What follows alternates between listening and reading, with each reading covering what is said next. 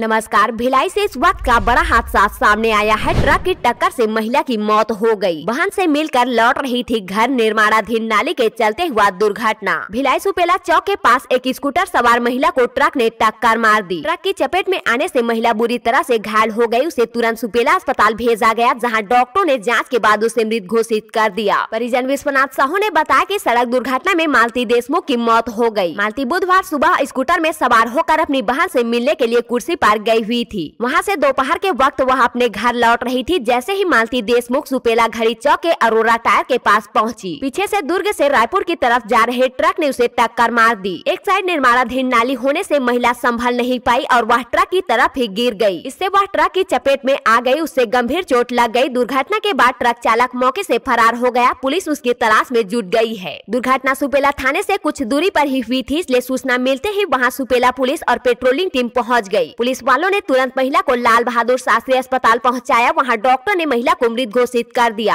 हादसे के समय फ्लाईओवर निर्माण करने वाली कंपनी एनएच के दोनों तरफ़ किनारे किनारे गहरी नाली का निर्माण कर रही है। नाली निर्माण के दौरान उनके द्वारा किसी भी तरह की कोई सुरक्षा घेरा नहीं लगाया गया है। इससे वाहन चालकों को बड़ी परेशानी होती है। नाली में गिरने के डर से दोपहिया वाहन चालक दाहिने तरफ़ होकर चलते हैं, जिससे यह दुर्घटना हुई है।